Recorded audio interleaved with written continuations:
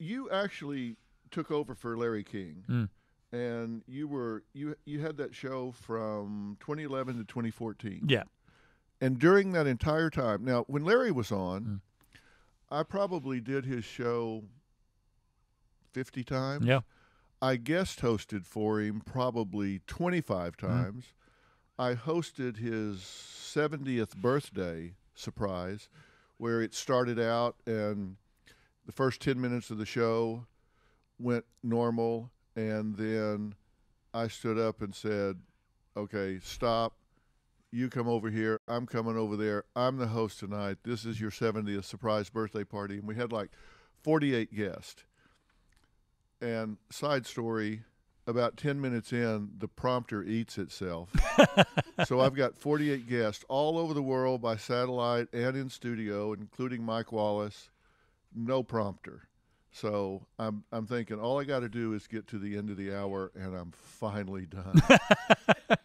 I get to the end of the hour and they say in my ear, network is called. This is going so well they want to extend 30 minutes. going, oh shit, are you kidding me? I, I can't believe it. But I do that show like 50 times, mm. guest hosted all of these times. You take over the show for four years.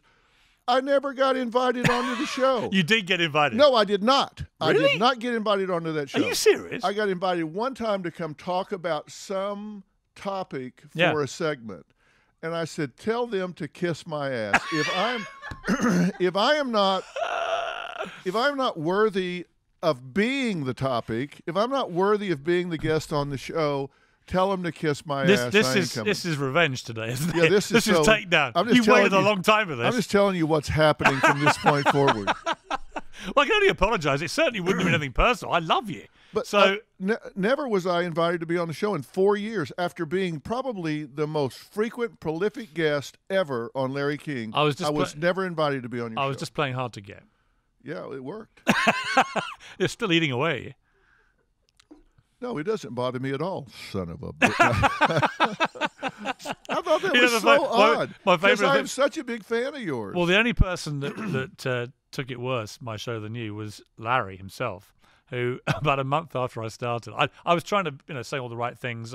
I said, look, this is like following Frank Sinatra at the Sands in Vegas and all that kind of thing.